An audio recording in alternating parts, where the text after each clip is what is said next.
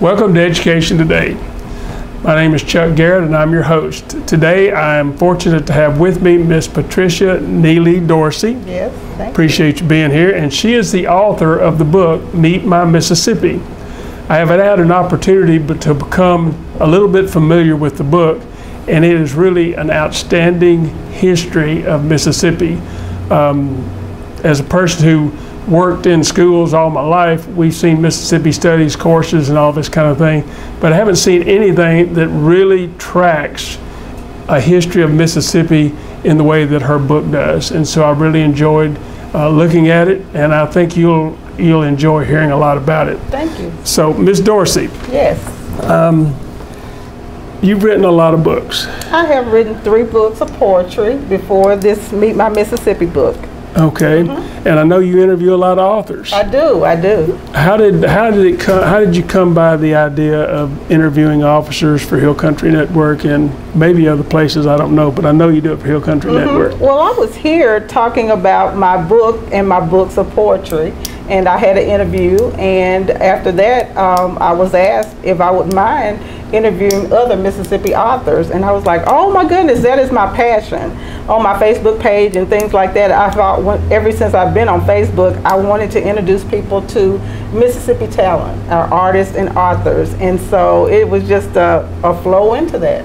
Well, I've been really impressed by your enthusiasm and love for our state. Thank you. And your desire to put forward a lot of information in, in a very informative way, but also a very positive way. Absolutely, absolutely. My slogan is celebrating the South and promoting a positive Mississippi.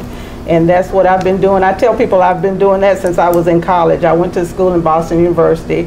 And as soon as I stepped off the plane, when I would say I was from Mississippi, people would ask the most ridiculous questions. You know, do you have the animals in the house? Do you have mud floors? Do you live in huts? And I'm like, really? no. And so we just started having conversations about Mississippi. And every time people would see me, it was all about Mississippi. So by the time, you know, by the first year or so, half of my friends called me Tupelo and the other half called me Mississippi because every time they saw me coming, that's what it was going to be about. Talking about Mississippi. Well, you said you went to Boston University. Yes. Mm -hmm. All right, where did you grow up? Where'd Tupelo. You go to, Tupelo okay. You grew up in Tupelo? Mm -hmm. Yes. Well, that's okay. Mm -hmm. Yeah, it's We fine, forgive right? you for growing up. right, it's no, okay. I, I just, you know, there's always this rivalry, New Albany, mm -hmm. Tupelo. And of course, Tupelo's gotten the better of a lot of that rivalry, but Mm-hmm. New Albany's on the road. Oh, it is. I love New Albany. And New Albany is growing and it's doing and a lot of positive things. And I say that every things. time I come up the road, I say, wow, if I didn't live in Tupelo or grow up in Tupelo, I would think I would have loved to grow up in New Albany. I say that every time I come through here. Well, one of the things I enjoyed in in your book was kind of your history. Well, first off, I didn't know we were the 20th state. Uh-huh. I probably should have known that, but I didn't.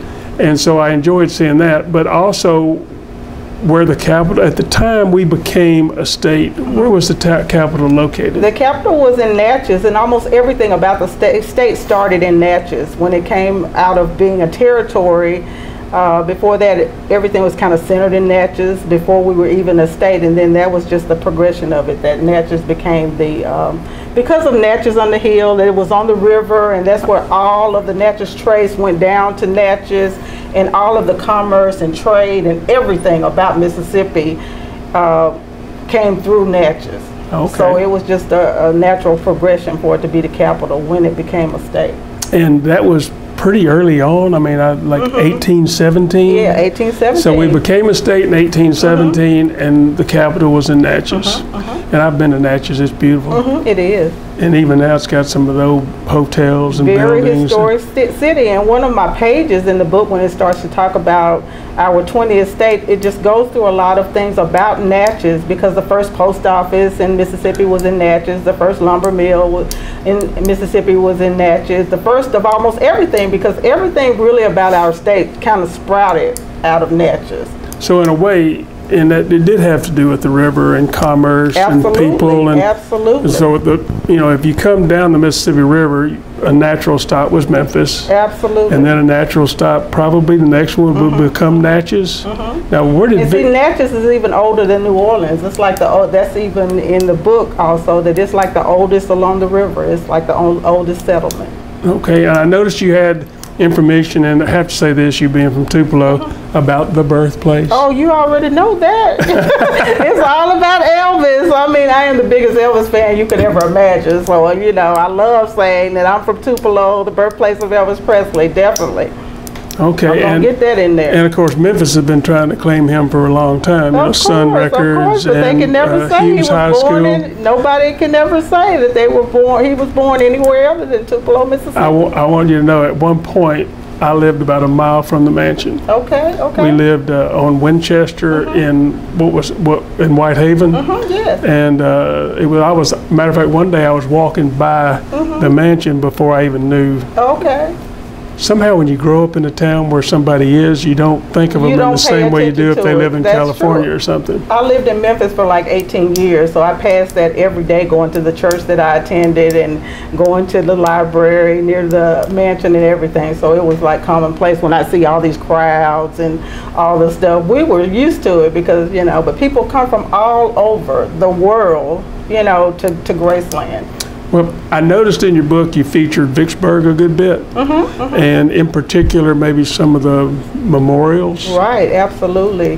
Vicksburg Battlefield, uh, the it's talking about the Memorial Park or whatever. It is the second largest in the United States after Arlington's. And, and somehow people head to Shiloh, Yeah. which is in Tennessee, Right. which, Right. I mean, it would seem we might spend more time heading to Vicksburg. Wouldn't That's part of You it. know, I don't know. And uh, so the capital, we talked about the capital, 1817, we became a state, Mm-hmm. and it moved.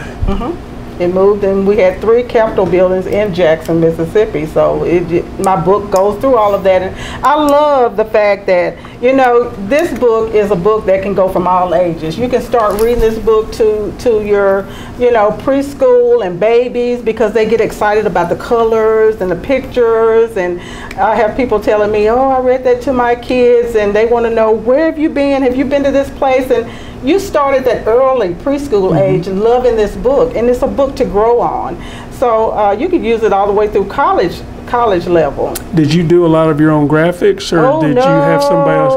Because they are, the pictures really are very engaging, and Yes. they, I, I mean, honestly, and and I think you said it, kids of all ages would enjoy looking at it, and so would adults, because it is a wonderful narrative history account, Mm-hmm. And it moves all across the state. it does. And, And- i just wanted to read this one thing from an educator a teacher that said uh, something about this. A teacher um, she said as a teacher it's hard to find nonfiction books that are usually uh, stimulating and that are high interest for elementary students. And this book is both. And i love that. Um, as for fourth grade, this book will not only help teach the English language standards, but it will also help teach the social studies curriculum fourth grade in the state of Mississippi. Are, and they are required um, to be taught Mississippi studies. This book is a great addition to teach all of the standards that are labeled in the curriculum. I love that. Well, and I don't know exactly how to say this, but from my point of view, with the graphics, the pictures, and then the specificity of the history, it makes it really interesting for any age. Absolutely. I mean, I really enjoyed just looking at it myself because it's very enthralling just to see. Right. Really? I really? love you saying Well, that. And when I looked at, for instance, you make reference to the Neshoba County Uh-huh, Fair, and I mean, I know it's been there for a while, but I had no idea it went back Right, into the 1800s. I mean, I don't know if you remember the date, but it's 18 Mm-hmm. Yes, something when that thing first got started, and uh, for that tradition to go on, gosh, Those many years and it's Headed toward 200 better. years, yeah. Absolutely, absolutely. is really um, amazing. And so what I tell people is my hope for the book is that you'll read and enjoy and look at the pictures and the young children look at the pictures and everything.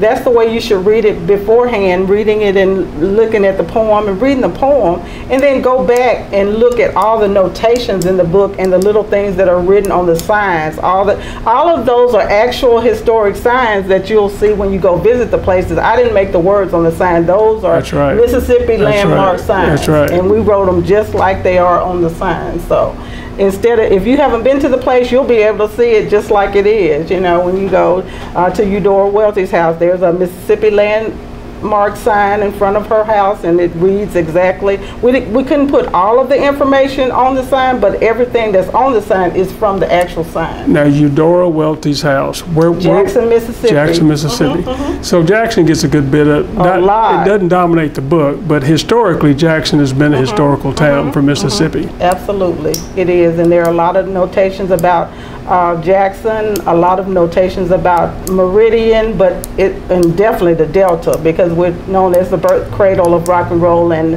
uh, birthplace of the blues. So a lot of Delta things are. Tell us a little bit about what you would cite or that you would um, want to make sure everybody understood about the Delta, about rock, about the history of music and that kind of thing Um, that's included.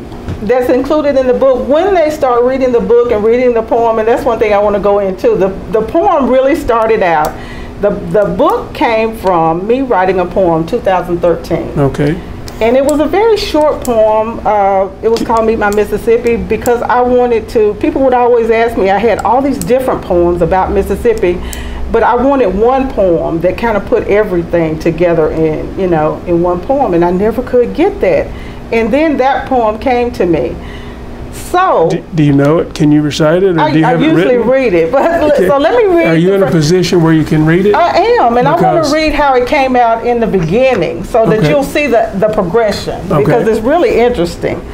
This is how the poem came out from me, uh, just out of my heart.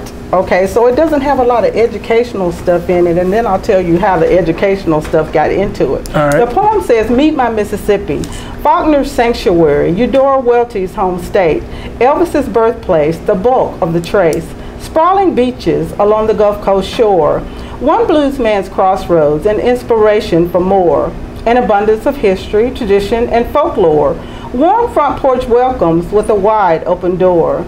A ride down the mighty river on the American Queen, in some of the most beautiful countryside that you've ever seen. She's music and melodies and the mockingbird songs, by valor and arms and faith ever strong. She's magnolias blooming around Jackson's Capitol Dome, and the sweet scent of honeysuckle that forever says home. She's my Mississippi. She's the hospitality state. Go, Mississippi, your true state of grace. So that's how it came out of me, but it's more of an emotional poem, and there are just a few little facts in there, like by valor in arms, with the, which is our state motto. And if you put guns to people's heads, almost you couldn't get half of the people in Mississippi to know that our state motto is by valor, in, valor arms. in arms. But I tell them, hey, if you read my book and learn my poem, you're gonna know it. And also, Go Mississippi. None of the kids know. We had to know it, but they don't know that that's our state song. So that's part of my poem. So if they learn the facts in the book and, and the poem, then um, they'll know those things. Okay, now we're going to the second step. Yes, ma'am. Okay, now this is where the book came in. Um, I was, uh, Governor Phil Bryant proclaimed me as a Goodwill Ambassador, to the uh, official Goodwill Ambassador of the state in 2015. And I was really thrilled about that. Um, just from my other uh, books, Reflections, Magnolia Memories, and Mississippi in Me. That came from just those books.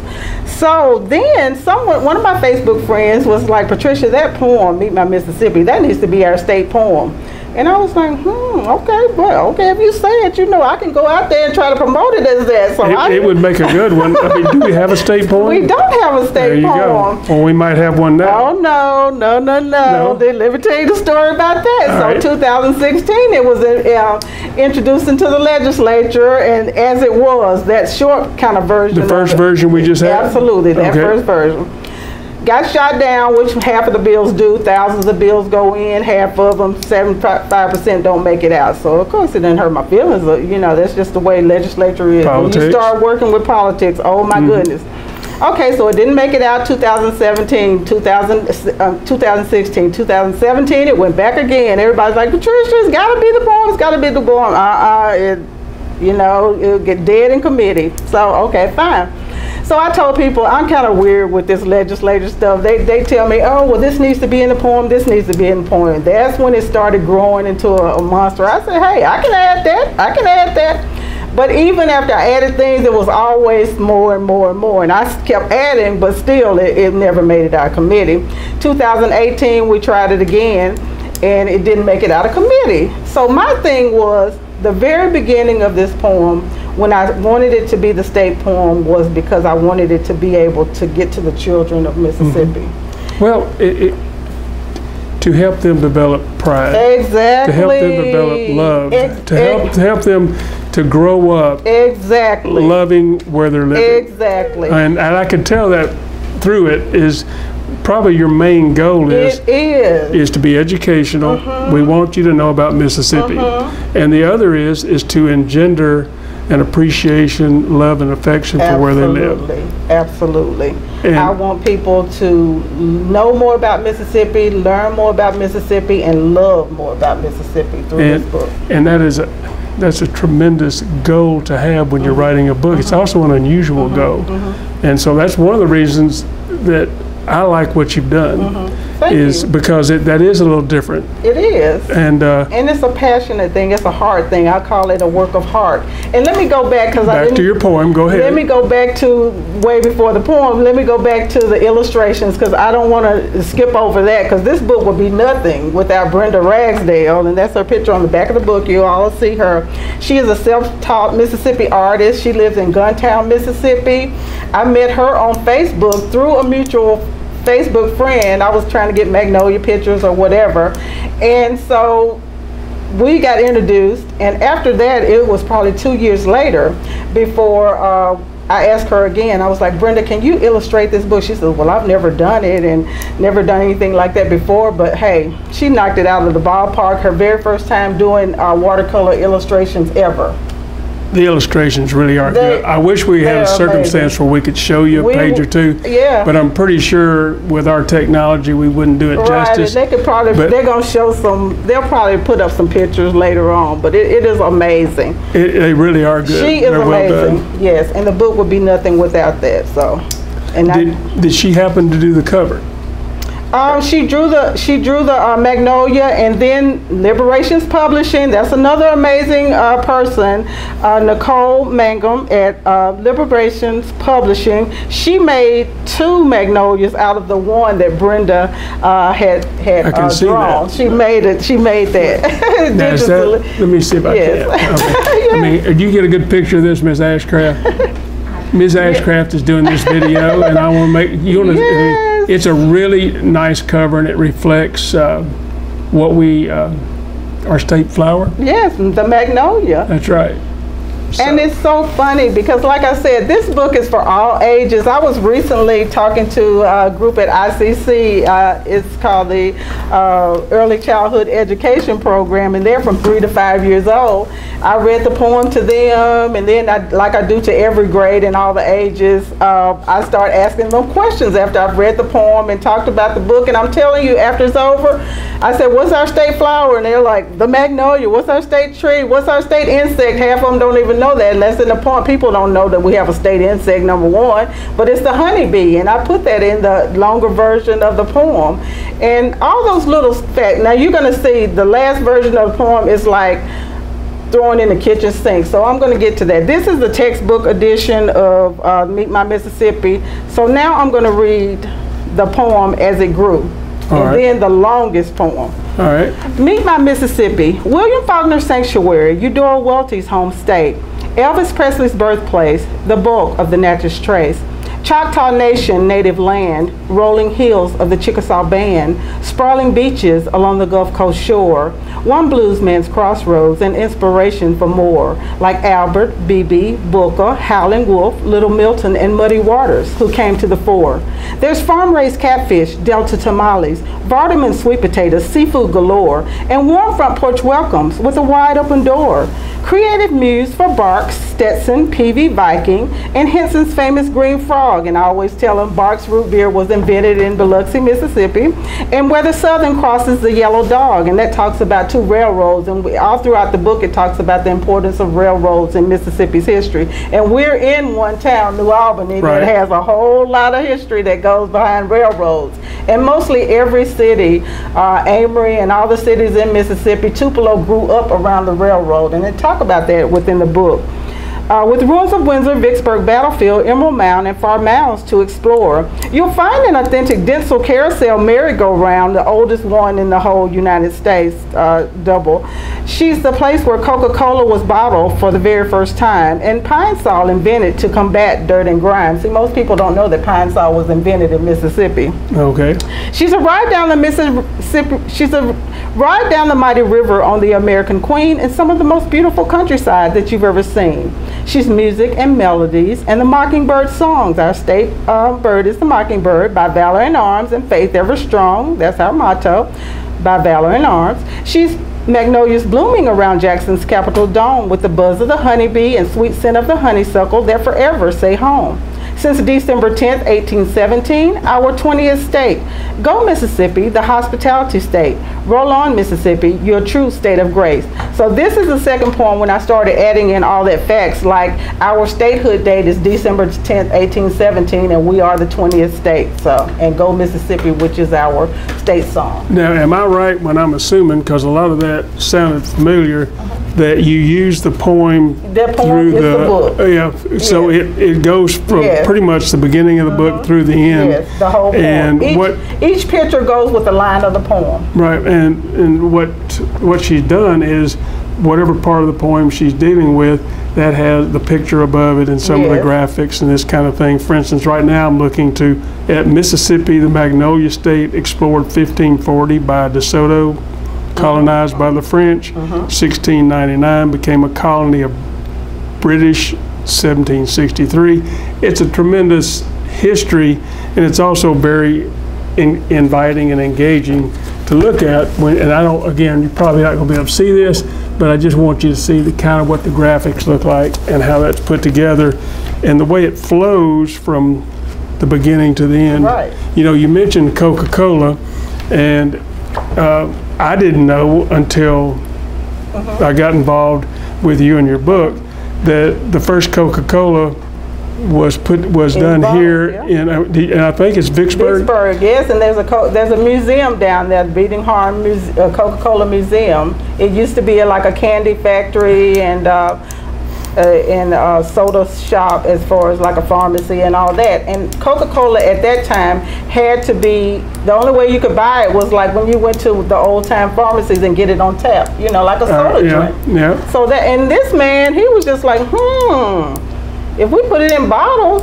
you can ship it anywhere. It can go anywhere. They don't have to just come in here. We could buy it and sell it in droves, and that's how it. it and if you look on the Coca-Cola website, you'll see. You know. And when I was, I remember growing up, we'd get the little Cokes, mm -hmm, you know, yeah. and we look on the bottom of them, and it would tell, I guess, the town that it had listed there was uh -huh. where it was bottled uh -huh, at that uh -huh, and all that came out of Vicksburg. Vicksburg, Mississippi. Absolutely. and all of that is in the book, and it's like, you just say, wow. I mean, it's just Things that they don't know. 1894, Joseph Biedenharn first bottled Coca-Cola in Vicksburg, Mississippi. And that goes along with the line of the poem that says she's the place where Coca-Cola was bottled for the very first time. And Pine Sol invented to combat dirt and grime. And if you go to the Pine Sol website, it, it tells the whole history. You click on history and it talks about this man, chemist H.A. Cole, a native of Jackson, Mississippi, developed Pine Sol in 1929. And it talks about he was living down there amongst a whole lot of pine trees, and he thought, hey, you know. As you were looking at that, I got a. Is that poetry the first version or the second or the third? This this one in the book, well, the yeah. second version. Okay, uh -huh. so it's the version that basically the legislature wanted you to enhance a little bit Mm -hmm. and then they didn't bring it out anyway. Right, exactly. Are you still working on them? No, I'm through with that because I would not have had this. But I, I, mean, I always say, unfortunately, it didn't become the state poem, but that wasn't the plan. It's just like, oh my goodness, it was. I say God had a bigger plan for it because I would have never thought of the children's book at all. If it had become the state poem, I would never have thought of doing a children's book. My um, thought process started, the, the little wheels started turning when I said, oh my goodness, I want this to be in the schools. I want, because if it was a state poem, they would have to really learn the, the thing like they would learn something else like right. the state so I said, what is a way that it can get into the schools? And I was like, okay, make it a children's book. You know, even if it's not in the schools, it's going to get in the homes. And I really think the book should be in every home in the state of Mississippi. Well, see, that, see, that's what I was going to say. Uh, and I know we're about out of time, but I still want to do this. Um, the first time I heard it called a children's book, right, kind of made me feel like, well, that's not for me. right. And so, only having gone through it some, did I realize it's a coffee table book. It is, I mean, this is is. one of the type books where you put it there and you let people who come by your house or come and visit and they start flipping through it and they realize what all's in it. Share Mississippi love across generations with the Right. Mississippi children's book. Well, uh, we're about out of time. Yes. Is there anything you'd like to say to the audience before I sign us off here? Oh, I just want to say that this book is great for all ages, and I want people to know that our children need to have a love for Mississippi, and I want them to be able to, to have that to equip them uh, with information. So when people start talking about all the negatives, they have something to combat that with. Well, it's, it's beautifully done and it's very informative. Thank you. And uh, I'm proud we have the book in our state. Thank you. Thank you so much. And thank you for having me just for the time to, to be able to let people know that there is something out there to promote our state and that we can share with our children across generations. Well, thank you for being here. And uh, for Patricia Neely Dorsey and Hill Country Network, this is Chuck Garrett saying we'll see you next time.